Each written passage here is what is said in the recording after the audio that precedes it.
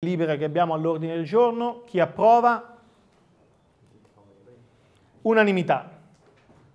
Nella sala consigliare di Minucciano il sindaco Nicola Poli e tutto il consiglio comunale hanno conferito la cittadinanza onoraria al maresciallo dei carabinieri Giuseppe Lucchesi, comandante della stazione di Gramolazzo.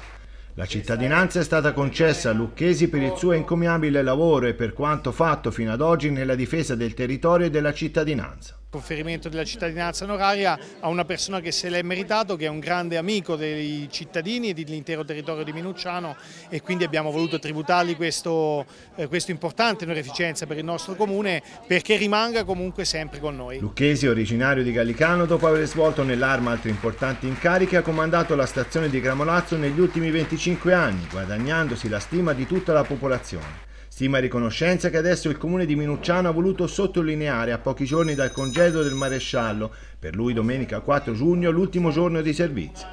La cerimonia si è svolta davanti a quasi tutti i comandanti delle stazioni carabinieri del territorio, tanti colleghi, ex colleghi, amici, parenti di figli Luca e Ilenia, ed è stato un momento toccante per tutti, con tanti applausi tributati a Lucchesi che alla fine ha ringraziato, davvero emozionato. Tutto quello che si può sperare oggi si è avverato io ringrazio tutti, l'amministrazione comunale in primis, tutti i colleghi, tutta la popolazione di, di Minucciano che in questi anni mi ha dato tanto, ha fatto, ha fatto sì che io crescessi e diventassi quello che sono.